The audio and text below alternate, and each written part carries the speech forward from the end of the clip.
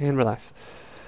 Okay, so we're continuing with uh, compound interest and logarithms. Uh, goal for today is to work with exponential growth and decay, um, and to compare and contrast exponential growth and decay to um, our normal discrete compound interest. So this is our formula from last time um, for compound interest. Um, the thing I'm going to focus on is our um, our R and our N today. Um, so our rate that we're gathering interest and the number of times that we compounded. And last time we saw if we increased N, um, then we would increase the amount of interest that we would get at the end of the year, right?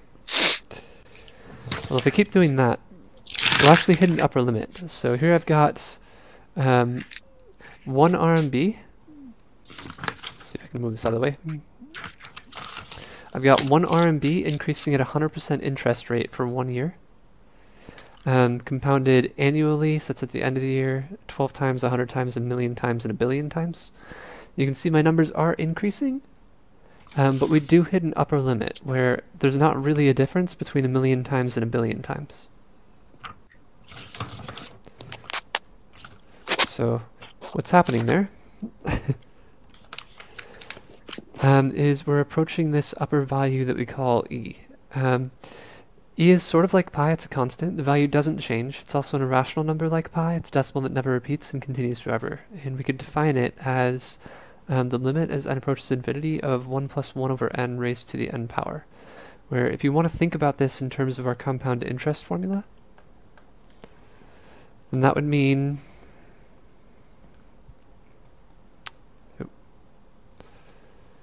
That would mean something like this, um, where we had a principal of $1 growing at a 100% interest rate. Um, for one year, but compounded infinitely many times. So if I take the limit as n approaches infinity, would be e. So this is the most that you could possibly compound something when it increases by 100% um, at the end of the year if we were compounding every instant from the start of the year to the end of the year. Um, any questions so far? No. No. Okay. Um, so that brings us to our exponential growth and decay formula. You'll notice it's really similar to what we had with our compound interest formula. Um, there is a substitution here. Um, I did not prove it on this slide. Um, if you guys want it, uh, message me on WeChat and I'll send you the proof. Um, there is quite a bit of calculus and logarithms involved.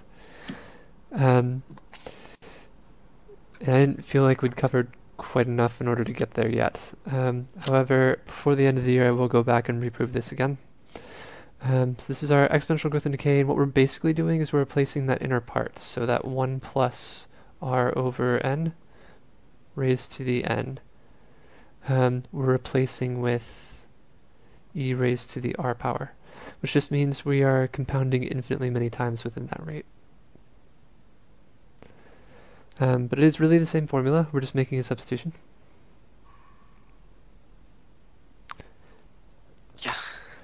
Um, so whereas um, for our discrete compound growth, um, we typically use that for finance. So whether you're taking out a loan um, or you're gaining interest on an investment, um, exponential growth is almost never used for money.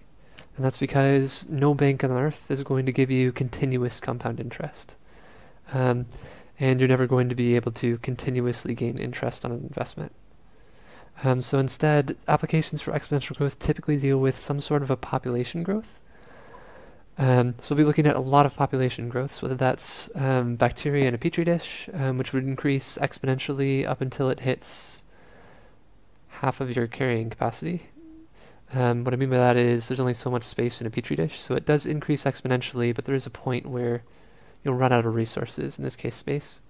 Um, you'll have less room to grow, so it can't continue to increase exponentially in the real world. Um, but theoretically, um, if you had all the space and all the food and all the time in the world, um, you could increase exponentially for that bacteria um, up until the point where it um, starts to hit those constraints. Um, so population growth is exponential for, um, you could say, half of its graph until it reaches half of the carrying capacity of the environment. Um, radioactive decay, um, so this is what we use in order to date objects.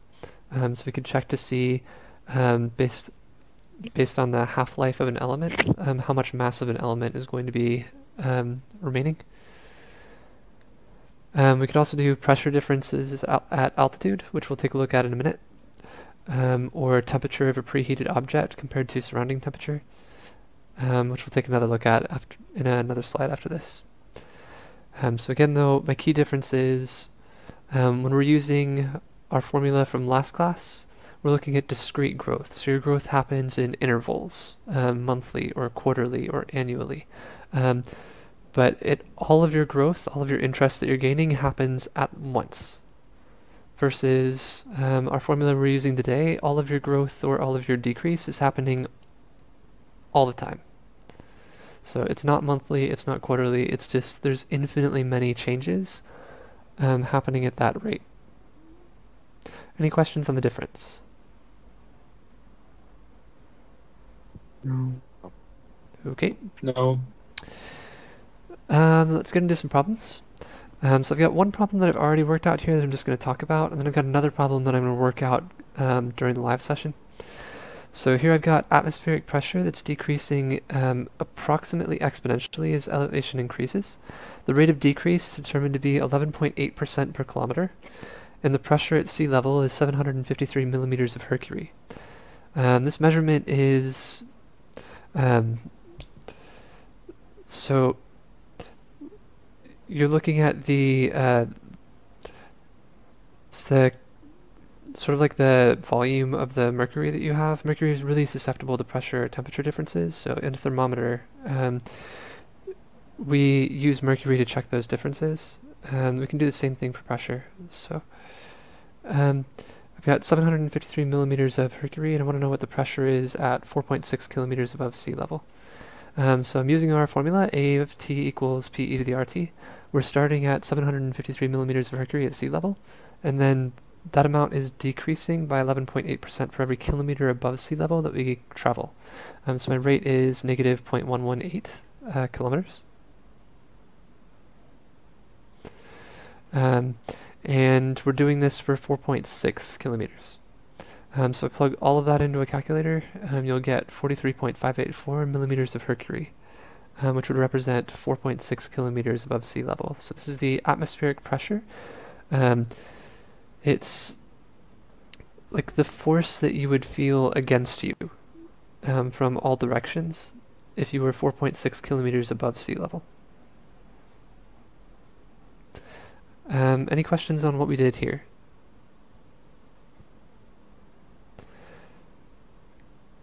Okay, so I picked this one specifically because t is not a time.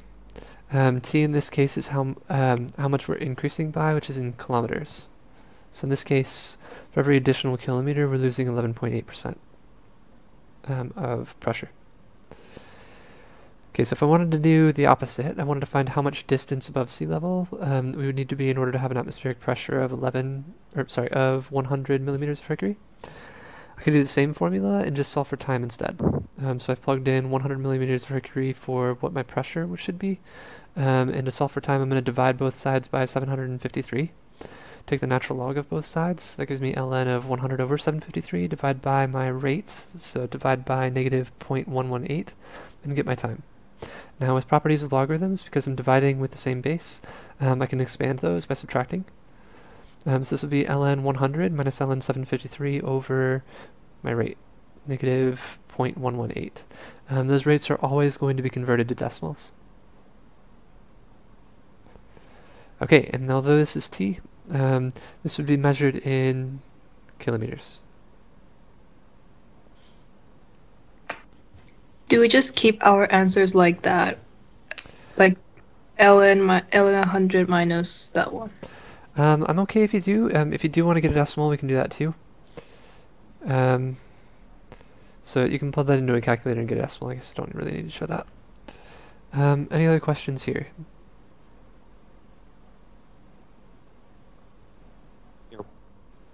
Okay. And I'm going to do one more with you guys. Um, so I've got a cup of coffee that's cooling at a rate proportional to the difference between the constant room temperature and the temperature of the coffee. The cooling rate is 2.7% per minute, and the current temperature of the coffee is 73.8 degrees Celsius. I want to know what the temperature of the coffee will be 30 minutes from now. Um, just realized I can't type when I'm in full screen like this, so I guess I am going to handwrite. Okay, so I'll handwrite up here. Um, we've got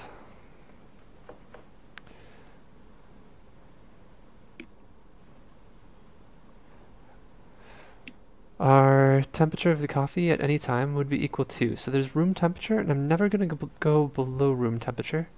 Um, so I'm always going to have this 20. Plus, um, the rest of this is my A equals pert. Um, I would start at some measure of degrees above 20. Um, so the current temperature of the coffee is 73.8 degrees Celsius. So that's 73.8 e to the rt, so that's negative 2.7 as decimal, 0 0.027 times t. Okay, I'm going to rewrite this. I think I'm going to blow this up so it's hard to see when I'm handwriting.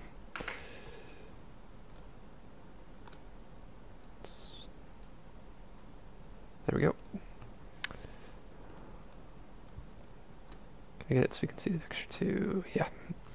Okay, so I've got um, our current temperature at this time um, is equal to, we have 20 degrees for the room temperature, plus um, we started at 73.8 degrees um, for the coffee, minus the 20 degrees that's in the room temperature, times e to the negative 0.027 t. Okay, this is a little bit weird. Do I have any questions about what's going on for this first line?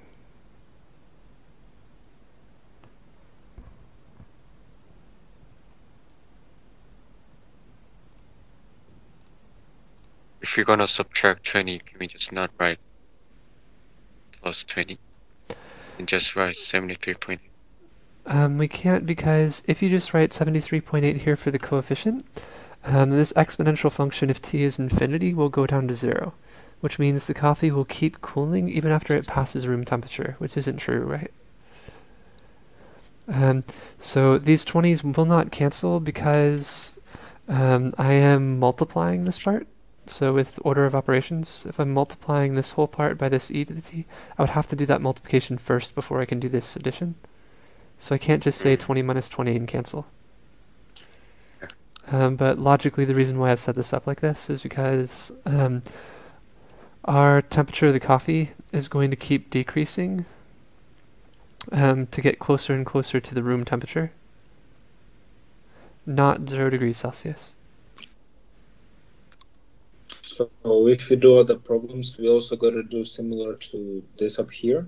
Like, for example, minus 500 and plus 500, like this.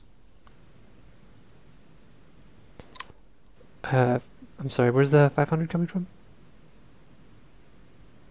Oh no, I'm just giving an example. So, for example, if there is a certain limit, we just subtract it from our original number and then add it later on, like shown here.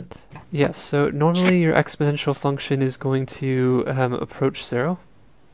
If you don't want your exponential function to approach zero, if you want your exponential function to approach a lower limit, so in this case 20 degrees Celsius.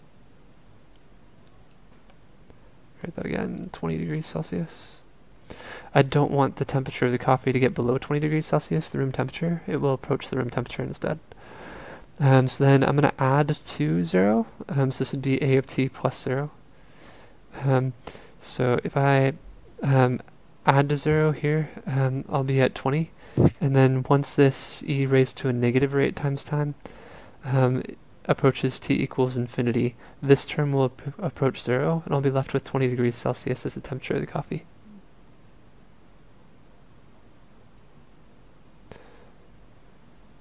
Does that answer your question?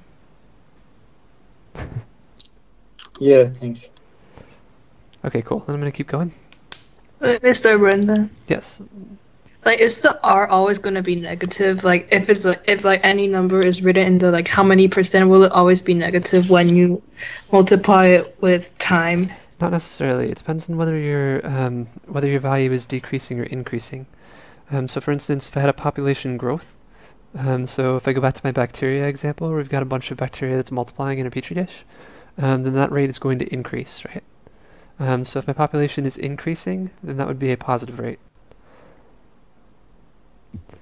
Um, in this case, though, our temperature is decreasing. We are cooling.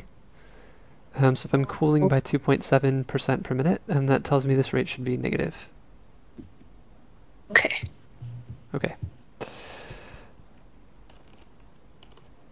Good question. So I'm going to keep going. Um, I've got 20 plus, that's 53.8. Um, e to my rate.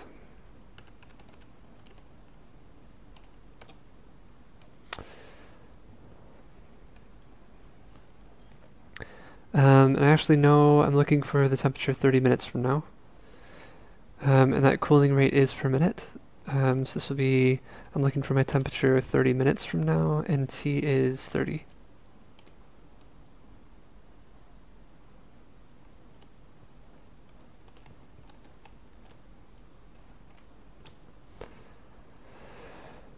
Okay, um, so now we can just plug in. Um, so I've got 20 plus um, 53.8 um, times e raised to the negative 0.027 is 2.7% um, times 30. So decreasing by that rate every minute for 30 minutes. Gives me a temperature of 43.93 degrees Celsius.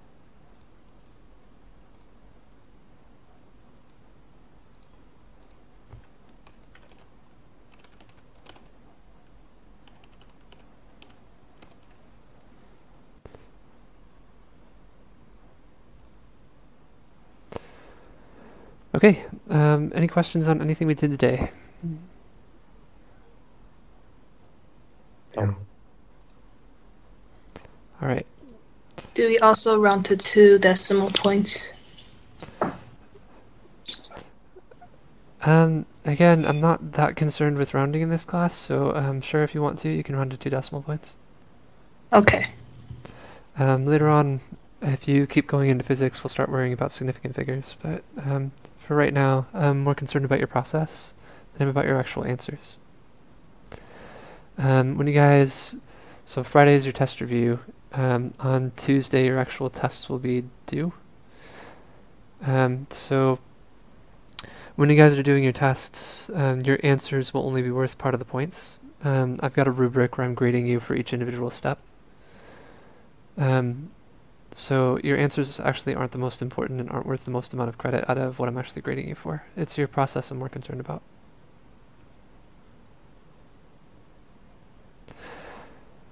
All right. Um, so if there if there aren't any more questions, I do have the homework file which I've sent on Skype and WeChat, um, which will be due on Friday at 9 a.m.